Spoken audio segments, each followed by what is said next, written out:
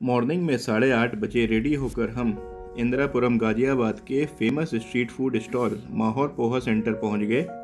यहाँ का पोहा ईशू और मेरे को बहुत ज़्यादा पसंद है। तो आज सैटरडे वीकेंड होने की वजह से हमने कनॉट प्लेस पर हनुमान मंदिर, बंगला साहिब, गुरुद्वारा और इंडिया गेट घूमने का प्लान बनाया हुआ। तो पोहे का ब्रेकफास्ट करने के बाद हम कनॉट प्लेस के पास प्राचीन हनुमान मंदिर पहुंचकर हमने हनुमान जी के दर्शन किए। और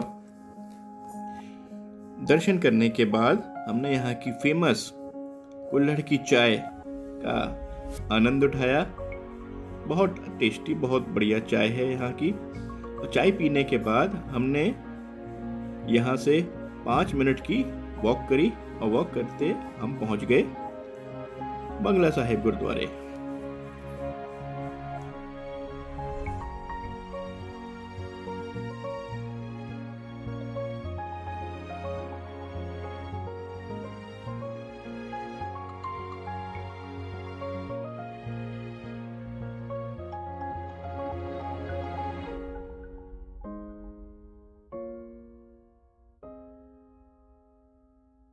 Eu quero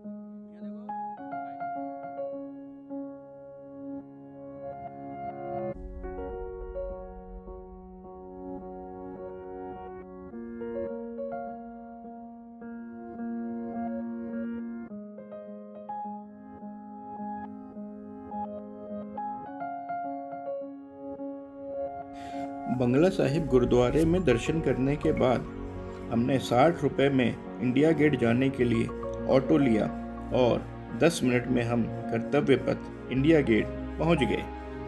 इंडिया गेट लगभग दो साल कोविड ड्यूरेशन में आम लोगों की विज़िट के लिए बिल्कुल ही बंद था, क्योंकि यहाँ पे सेंट्रल विस्टा प्रोजेक्ट के रिनोवेशन का वर्क चल रहा था। ये पूरी लोकेशन अब बिल्कुल रिवैम्प हो चुकी है, इसलिए आप लोग एक बार अब इस जगह इंडिया गेट और कर्तव्य पथ ज़रूर विज़िट करिए।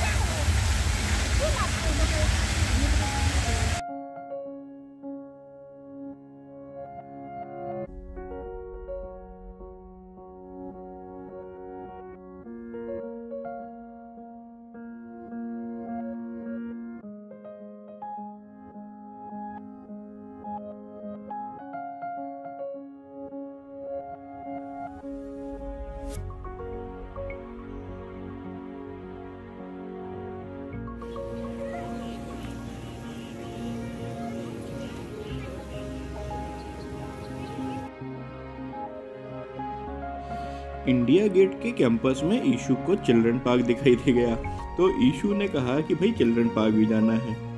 तो सेंट्रल विस्टा प्रोजेक्ट के अंतर्गत ये चिल्ड्रन पार्क का भी रिनोवेशन हुआ है। तो हमने सोचा चलकर देखते हैं।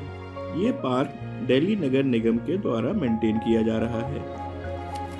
इस बड़े से बोर्ड पे हमने देखा यहाँ बच्चों के खेलने के लिए बहुत सारे झूले open gym children library science activity room, musical fountain, Mowgli fountain, fish aquarium amphitheatre और बहुत सारे प्लेइंग इक्विपमेंट्स मौजूद हैं।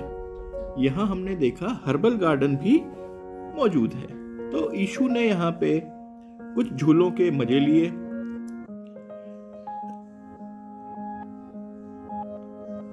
और थोड़ी देर खेलने के बाद हम चिल्ड्रन लाइब्रेरी की तरफ़ चले तो पता चला कि भाई, एक से दो यहाँ पे लंच टाइम है तो चिल्ड्रन लाइब्रेरी बंद है। मोगली फाउंटेन की तरफ़ गए थोड़ा सा देखा अच्छा लगा। फिर हमने देखा हर्बल गार्डन पार्क भी है। चलिए, चल के देखते हैं इस हर्बल गार्डन में क्या है। ओ, ये सब गोल। अच्छा। ये क्या है? तुलसी। अपराजिता। ये क्या है? अच्छा मीठी नीम। ओके। अजवाइन। अजवाइन का पौधे हैं यहाँ पे। और देखते हैं यहाँ क्या है। आ, मोगरा। और ये आंवला है। ओके अच्छा जी। नीली। फिर हमने देखा है फ़िश एक्वेरियम की तरफ़ गए। फ़िश एक्वेरियम में ऐसा कुछ खास नहीं था, सिर्फ़ एक ही एक्वेरियम था और बाकी सब बंद पड़े हुए थे। चिल्ड्रन पार्क से निकलकर हम वापस जनपद आए और south Indian high quality vegetarian restaurant Saravana Bhavan पहुँच गए। यहाँ हमने तीन प्लेट मसाला डोसा ऑर्डर किया। मैं आपको ईमानदारी से कहूँगा यहाँ का डोसा बहुत ही लाजवाब और टेस्टी है। एक बार आप लोग यहाँ का डोसा ज़रूर ज़रूर ट्राई करिए। डोसा खाने के बाद हमने जनपद हैंडलूम मार्केट में थोड़ी शॉपिंग करी और फिर घूमते घामते हमने आज की विज़िट यहीं पे एंड करी। Thank you for watching. Bye bye.